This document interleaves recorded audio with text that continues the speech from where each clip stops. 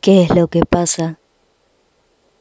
Un gran silencio se cierne hoy sobre la tierra, un gran silencio y una gran soledad. Un gran silencio porque el rey está durmiendo, la tierra está temerosa y no se atreve a moverse porque el Dios hecho hombre se ha dormido y ha despertado a los que dormían desde hace siglos. El Dios hecho hombre ha muerto y ha puesto movimiento a la región de los muertos. En primer lugar, va a buscar a nuestro primer padre como a la oveja perdida. Quiere visitar a los que yacen sumergidos en las tinieblas y en las sombras de la muerte. Dios y su Hijo van a liberar de los dolores, de la muerte a Adán que está cautivo y a Eva que está cautiva con él.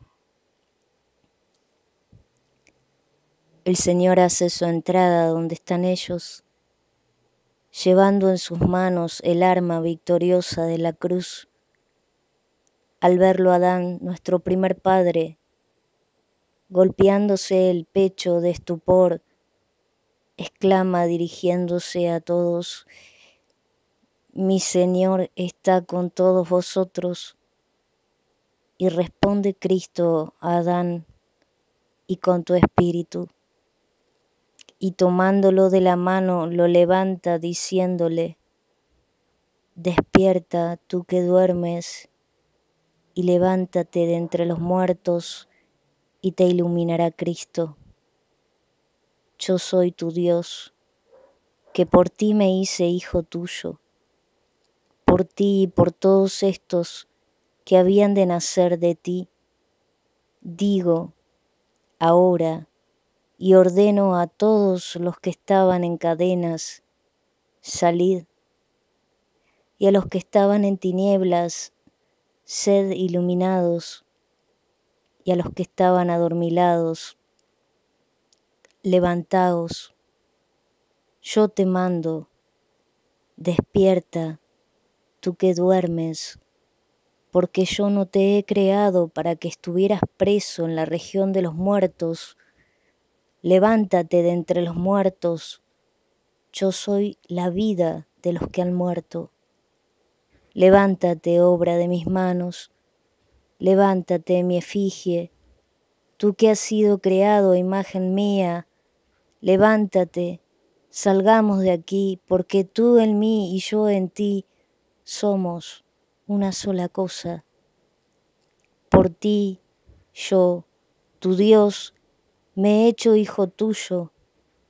Por ti siendo Señor asumí tu misma apariencia de esclavo por ti, yo, que estoy por encima de los cielos, vine a la tierra y aún bajo tierra, por ti, hombre, vine a ser como hombre, sin fuerzas, abandonado entre los muertos, por ti que fuiste expulsado del huerto paradisíaco, fui entregado a los judíos en un huerto y sepultado en un huerto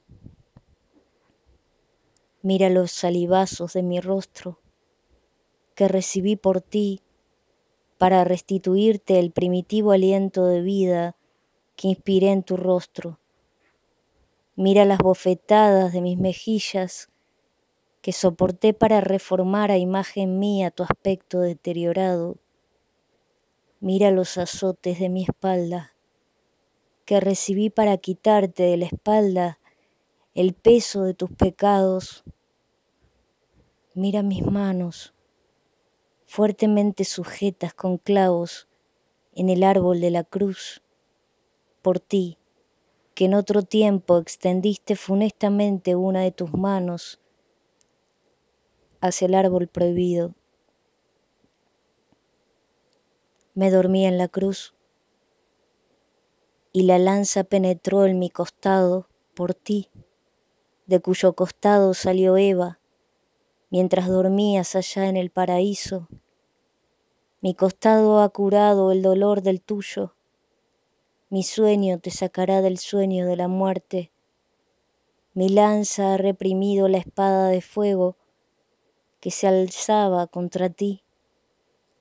Levántate, vamos, vayámonos de aquí.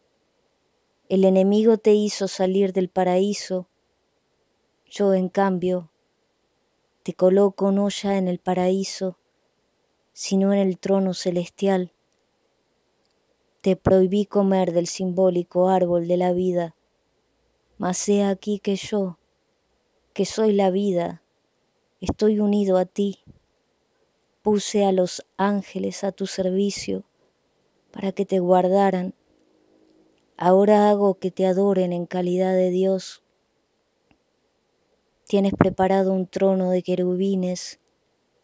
Están dispuestos los mensajeros, construido el tálamo, preparado el banquete, adornados los eternos tabernáculos y mansiones a tu disposición, el tesoro de todos los bienes y preparado desde toda la eternidad el reino de los cielos.